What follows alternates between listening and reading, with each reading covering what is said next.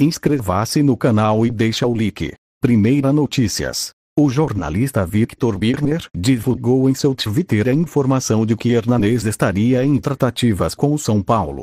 A equipe do SPFC Net averiguou com a diretoria e detalha abaixo a negociação do possível retorno do Profeta para disputar a Libertadores de 2019 pelo tricolor. Hernanês tem vínculo com o eBay Fortune até dezembro de 2019, portanto, em junho já estaria livre para assinar pré-contrato com qualquer equipe de graça.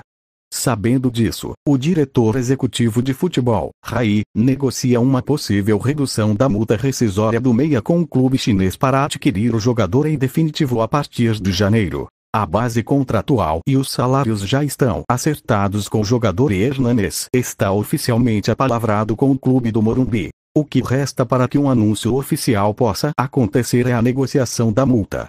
Ponto positivo é que, diferente das outras vezes, os diretores do EB estão aceitando conversar sobre a saída do meia, mas exigem compensação financeira.